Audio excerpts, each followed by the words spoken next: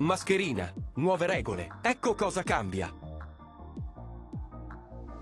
In Italia, a seguito dell'andamento epidemiologico del Covid-19, è stata emessa una nuova ordinanza riguardante l'uso obbligatorio delle mascherine in specifici ambienti.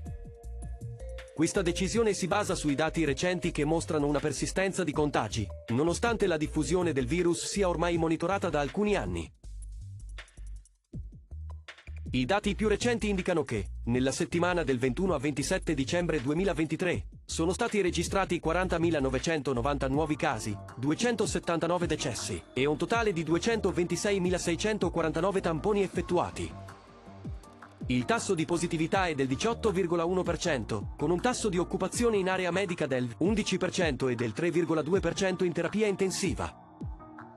In base a queste cifre e per prevenire ulteriori diffusione del virus, il Ministero della Salute italiano ha deciso di prorogare l'obbligo di indossare dispositivi di protezione delle vie respiratorie in determinati ambienti fino al 30 giugno.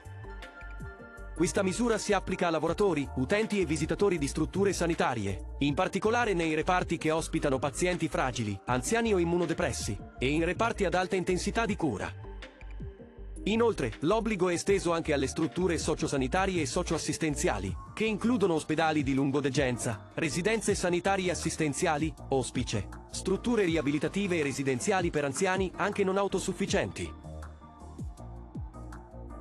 Sono esenti dall'obbligo di indossare la mascherina i bambini sotto i 6 anni, le persone con patologie o disabilità incompatibili con l'uso della mascherina e coloro che devono comunicare con persone con disabilità, per le quali la mascherina rappresenterebbe un ostacolo. Queste misure riflettono un approccio cautelativo delle autorità sanitarie italiane per proteggere i gruppi più vulnerabili e contenere la diffusione del virus in ambienti con alto rischio di trasmissione.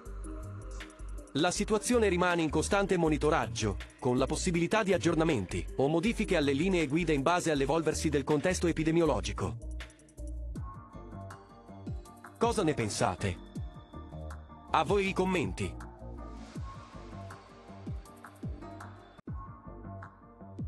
Se il video ti è piaciuto, metti mi piace, iscriviti al canale e clicca la campanella per ricevere gli aggiornamenti. Grazie.